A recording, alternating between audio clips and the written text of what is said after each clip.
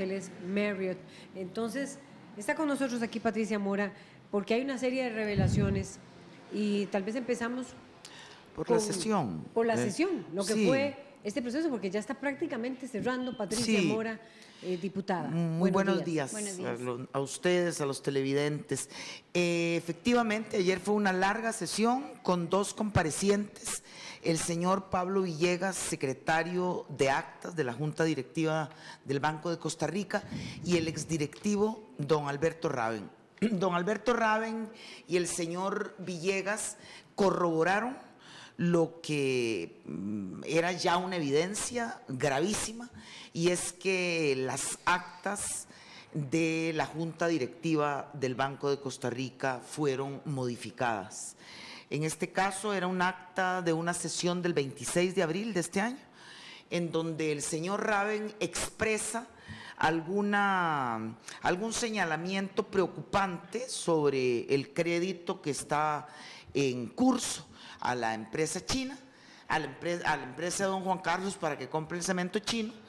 Eh, pasa una semana, eso era un, miércoles 26 de abril, pasa una semana, a la semana siguiente, como en cualquier órgano de estos, el, el, miércoles 3 de mayo, la junta directiva aprueba en firme el acta. Y una vez aprobada en firme el acta, es modificada es decir, el acta se aprueba sin las modificaciones. Mm. Una modificación muy sospechosa, dijéramos, porque tendía aparentemente a favorecer al señor Raven por parte de la señora Paola Mora. Y a estas alturas del año ya era público y notorio que entre ellos dos había un serio desencuentro. Entonces, recuerdo que al, inicio cuando nos enteramos, dijimos, bueno, pero ¿por qué esta señora quiere favorecer al señor Raven. ¿Favorecerlo en qué sentido? En que ella lo ponía a decir, bueno, yo me voy a inhibir, cosa que él no hizo.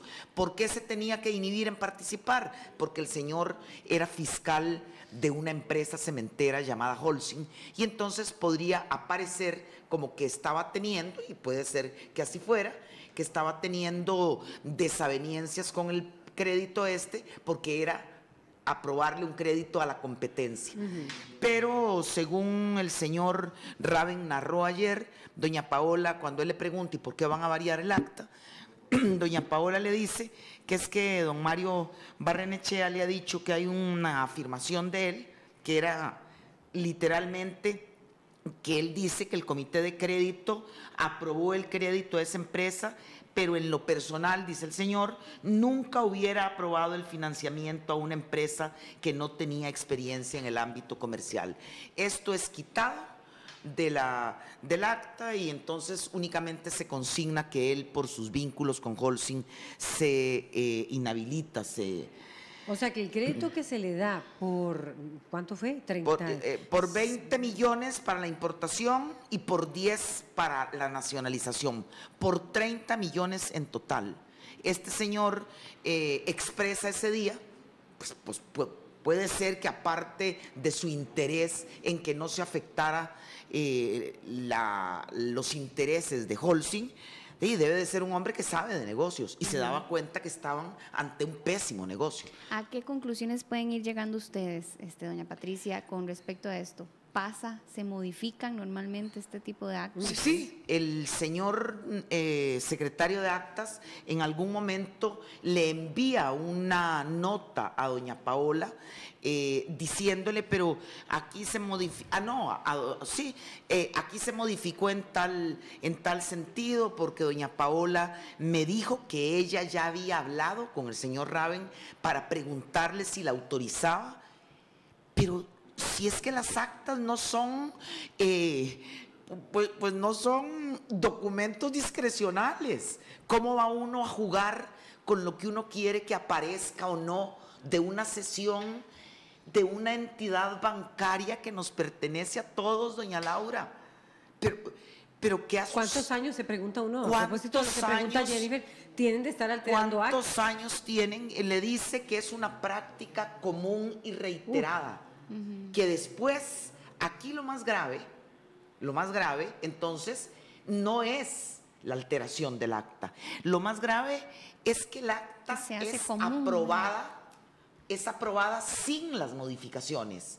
Es decir, se deja correr una semana, se deja correr una semana y en esa semana no pasa nada, se lleva a la próxima y ustedes desen cuenta que... Eh, la redacción entre una y otra son muy eh, distintas. Muy distintas. Los contenidos. los contenidos, el señor Raven eh, y el señor secretario de actas sostienen que se respeta el espíritu de lo que el señor Raven decía, pero es muy... Es decir, para mí personalmente no es ninguna sorpresa. Yo tengo a doña Paola Mora acusada penalmente por falsedad de documento público y creo que la sesión de anoche eh, obligará a que la señora sea efectivamente ante esta iniciativa que yo llevé ya hará eh, seis o siete semanas eh, a la vía penal y a la Fiscalía de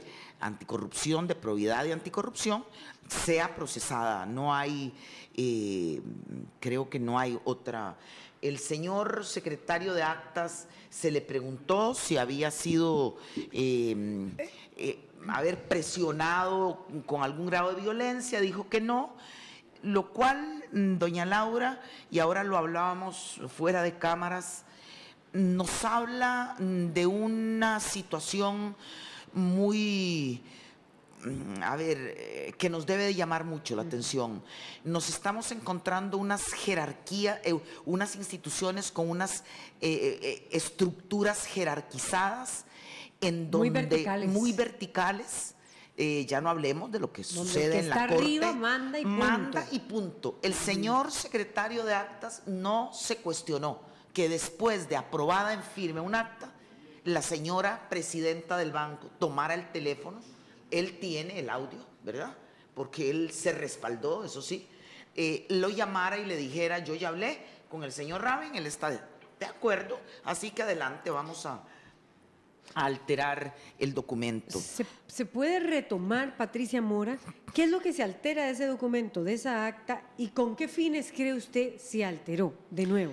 Sí, es, es imposible pensar que doña Paola le quisiera hacer el favor a don Alberto en el sentido de que vea, yo voy a quitar que usted intervino para que usted no tenga problemas de, que se diga que hubo una interferencia eh, extraña siendo usted parte de, bueno, o fiscal, parte interesada.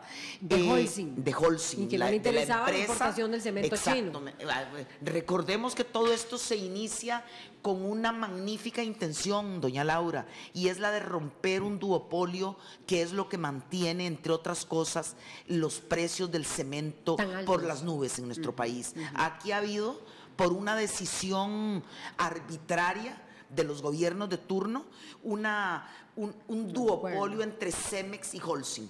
Entonces, la intención de romper eso es absolutamente válida y compartida por todos, pero resulta que en la práctica no disminuyó un 5 el precio y todo se prestó para montar un, entramado delictivo. Eso es lo que estamos denunciando. Y a propósito de entramados delictivos, eh, desde ayer, eh, en algún momento de la tarde, tuvimos o tuve acceso a un, a un primer documento que se filtró de ya de lo que eh, eh, fruto del allanamiento a las oficinas de Barrenechea. Esto eh, para aquellas personas que ya estamos grandes y que hace 10 años ya éramos conscientes, lo que me, me hizo traer a la memoria inmediatamente fue el memorándum del miedo cuando no el TLC. Es un entramado en donde en el centro lo que aparece es que el objetivo estratégico es la permanencia de Mario Barrenechea como gerente general, pero con un asunto terriblemente eh, llamativo, un objetivo táctico, el número dos, después del que el primero era sacar a como haya lugar a Quesada del Banco de Costa Rica, el objetivo número dos es debilitar al diario Extra vean ustedes la situación que tenemos enfrente. Es un plan para, Porque estaba haciendo denuncias para explosionar a nuestro sistema democrático. Meterse con un medio de prensa, comparta uno los criterios o no. meterse con un, a intentar acallar los medios de prensa es acabar con el juego democrático en un país, doña Laura. Eso a propósito de cuáles eran los objetivos de... Yo un poco lo leí ayer, me, lo, facilitó el periodista Fernando Brenes, pero sí, de, de, una estrategia en torno al tema del manejo de figuras. manejo de figuras. Ahí se cita Juan Carlos Bolaños, se, cita Mario Barrenechea. Mario Barrenechea, el señor Quesada, que hay que sacarlo de ahí.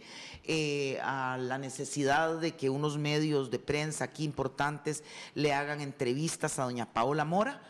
Eh, sí, ellos señalan la importancia, ellos se dan cuenta de lo que hoy nosotros podemos constatar, y es que eh, estos acontecimientos que se han logrado destapar, que, y por lo tanto que se logrará, estoy convencida, detener revertir y así lograr sanear eh, la institucionalidad democrática de nuestro país, esto no hubiera sido posible más allá de, la intervención de otras instancias, sin la decisión de eh, muchos medios de prensa.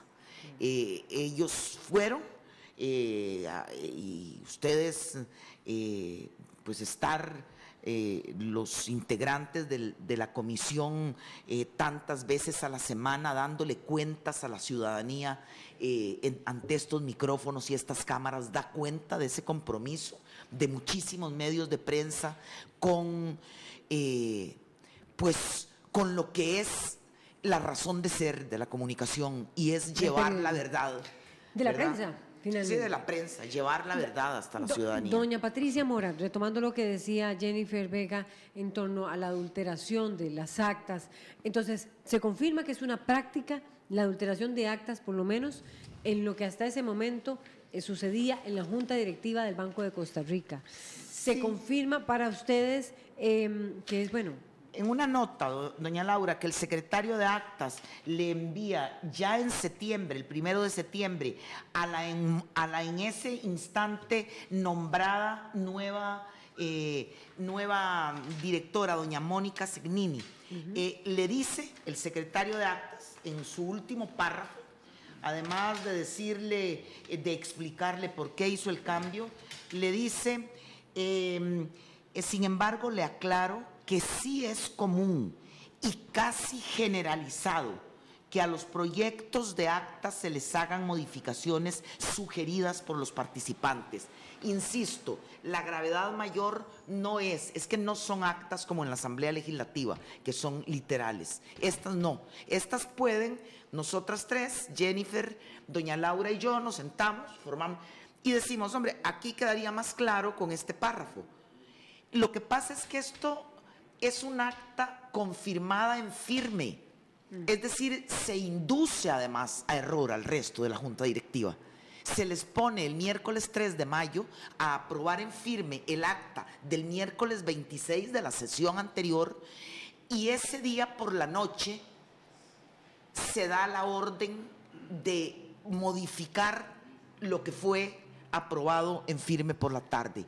Es decir, es una falsificación de un documento eh, y eso constituye claramente una figura delictiva. Doña Patricia, ahí decía que comúnmente, comúnmente. ¿Eso eh, implicaría o llevaría a la comisión, a la Asamblea Legislativa, a crear otra comisión para hacer otras investigaciones porque si es comúnmente, pues mm. entonces muchísimos otros casos se pueden haber Nosotros ayer lo hablamos a propósito de la presencia del señor Alberto Raven. El señor Alberto Raven eh, tiene varios años, fue eh, presidente del banco durante el gobierno de doña Laura Chinchilla y desde en aquel momento es, eh, fue, hasta que quedó suspendido directivo del Banco de Costa Rica y ya ayer se le preguntó, yo no lo hice, no le pregunté ayer sobre a ver, sobre el otorgamiento de importantísimos créditos por,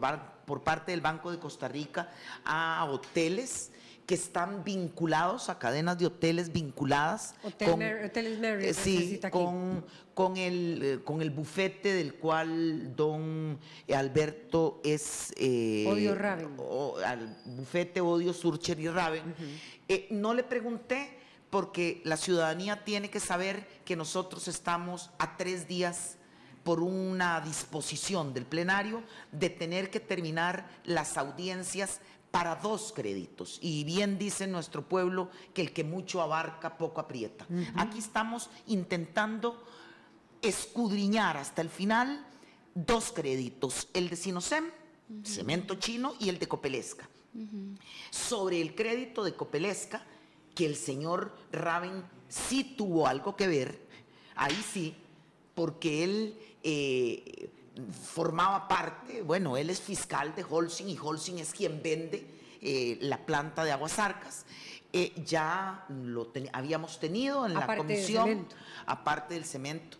Eh, ya lo habíamos tenido, al señor Raven ya le habíamos preguntado, ya el crédito de Copelesca lo tenemos documentado, pero sí la comisión, ayer cuando se fueron los comparecientes, me parece que hubo un acuerdo tácito entre los diputados que ya casi a la medianoche todavía estábamos ahí, en el sentido que así como están los créditos otorgados a esa cadena de hoteles, así está una denuncia muy grave de creo que 157 millones de dólares dados por el Banco de Costa Rica eh, y aún, a ver, en medio de una denuncia, esto era el 2009, gobierno de don Oscar Arias Sánchez, eh, era el representante ante el Banco Centroamericano de Integración Económica por parte de Costa Rica, el señor Ortuño. El señor Ortuño tiene un primo que se llama don Gaspar Ortuño. Don Gaspar Ortuño tiene un, enorme proyecto de construcción de una zona industrial en, el, en el, cantón de Desamparados, al sur de nuestra ciudad. y de manera eh, irregular, para ponerlo así, el señor Ortuño hace que, que la contribución del BCIE esta vaya a favorecer a su primo. Esto fue denunciado en su momento, insisto, en el 2009.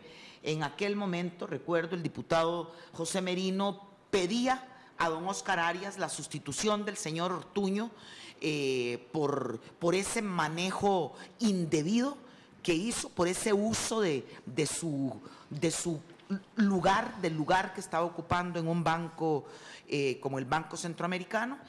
Eso para estar narrando eh, créditos que han ocupado las primeras páginas de los periódicos en el último mes. Eh, eso, el desfalco que la compañía Jamber le hizo a la banca pública, no solo al Banco de Costa Rica, también se llevó entre las patas al Banco Nacional fundamentalmente.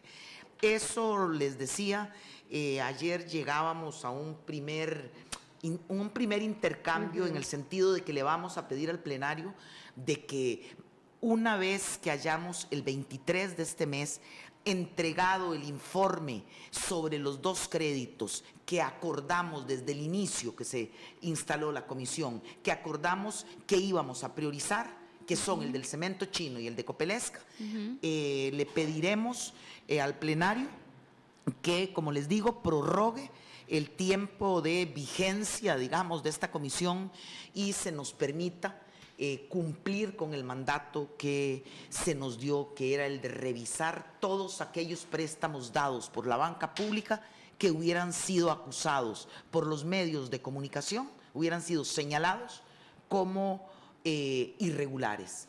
Así que yo creo que, que esto, eh, la sesión de anoche daba luz y terminaba de armar lo que es la configuración eh, de, figuras delictivas claramente.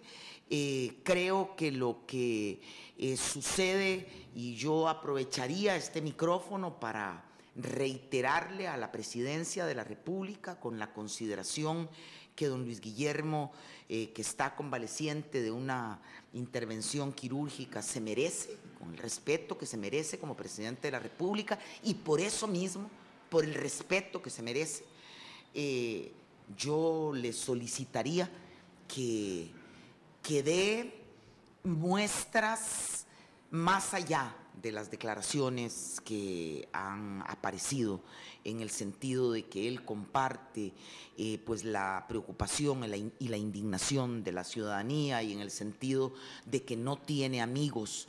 Eh, yo creo, don Luis Guillermo, que, que usted está en la obligación, porque porque confío en su integridad moral, está en la obligación de Mm, de tranquilizar a la ciudadanía diciéndole esto se desarrolló de esta manera, fue en estos momentos en los que yo eh, me enteré de que mis más allegados estaban haciendo de las suyas con, en asuntos en los que no se puede meter ningún funcionario público a interceder. Eh, nosotros tenemos eh, después de esta experiencia que yo creo que, que terminará enriqueciendo eh, la vida política de nuestro país. Indudablemente, aquí la institucionalidad, esa que tanto inescrupuloso ha puesto en serio riesgo, yo creo que después de, de este proceso terminará saliendo robustecida eh, nuestra institucionalidad democrática no, no se puede jugar con ella, doña Laura. Tenía varias preguntas eh, a propósito de lo que estaba preguntándole, haciendo las, los cuestionamientos eh, que estaba haciéndole Jennifer. Pero Primero, ¿habrá el ambiente? Este es como más de conclusión. ¿Y habrá el ambiente para seguir investigando préstamos? Porque este entramado que usted llama ha dejado, ha tocado tres poderes. ¿Cuánto van a generar los otros tres préstamos, habrá el ambiente en la Asamblea Legislativa de cara a la campaña electoral. Y doña Patricia, ¿por qué? Porque no entiendo todavía muy bien, ¿por qué se le cuestiona a Alberto Raven su, si influyó o no en operaciones crediticias para la compra de la cadena de hoteles Marriott? Eso quisiera como que usted me lo detallara más. Claro, se le, lo que sucede es que estos hoteles, y él lo reconoció ayer, eh, son, eh, a ver, estos hoteles son el intermediario para esto, porque, porque estas cadenas de hoteles buscan, obviamente, bufetes eh, eh, nacionales y resulta que eh, el, representante legal y socio es el bufete Sorcher, Odio y Raven. Es decir, de nuevo estamos ante la, mm, la desaparición de lo que es de lo que debería de ser la frontera entre mis negocios privados, yo respeto totalmente el ámbito privado de la vida de don Alberto Raven. Él es socio de un bufete, un bufete eh, con prestigio en este país, que consigue ser representante legal de una cadena planetaria de hoteles y, y, consigue ser socia de esa, de esa cadena Marriott lo que yo cuestiono, doña Laura, es que el hecho de que don Alberto sea parte de ese bufete, de alguna manera le facilite a los Marriott obtener un crédito en la banca pública. ¿Por qué? ¿Cómo se facilita? Porque el señor que es abogado de este bufete tiene una silla o tuvo una silla en la junta directiva eh, del banco. Es eso, ahí es donde está el mal de origen. No es en los negocios. Si los empresarios, insisto, son responsables ambientalmente, socialmente, fiscalmente, son un elemento indispensable para el desarrollo del país. Doña Patricia. Obviamente, estamos señalando el ámbito en donde se difuminan las fronteras, mm. en donde, a ver, hasta dónde llegan los intereses de don Alberto como socio de los Marriott o como lo que él tiene que ser, porque para eso se les paga a los directivos. Les pagamos todos los costarricenses para que defiendan nuestros derechos en una junta directiva de un banco. Eh, es, y yo no le veo en ese sentido eh, un buen no ha sido una buena señal el, nombramiento del actual gerente general interino. Eh, resulta que al Banco de Costa Rica llega una nueva junta directiva en un momento de absoluta crisis nacional, ya no digamos, en la entidad bancaria, y los señores directivos eligen a un hombre que ha sido asesor jurídico del banco y que fue doña Laura, su, su criterio legal fue en la dirección de la modificación de los reglamentos que terminaron favoreciendo a la empresa del señor Bolaños. Es que no, no se puede porque ¿qué es? Que no hay nadie fuera de los cuestionamientos. ¿O cómo se les ocurre a los señores directivos?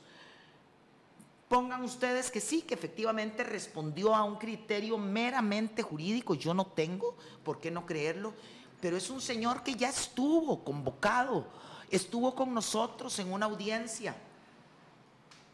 Y dio los criterios legales. y dio la reacción hoy del Banco de Costa Rica sobre este, este cuestionamiento que está dando la diputada Patricia Mora. Patricia Mora, tenemos que ir cerrando, pero bueno, Jennifer, de una vez, si quieres preguntarle. No, era ligado a la consulta que usted hacía, doña Laura, de si va a haber ambiente en la Asamblea, eh, eh, también de cuánto sería esta prórroga que ustedes soliciten para continuar eh, con esta comisión. Vea, sobre el ambiente, efectivamente, hay que ir venciendo resistencias.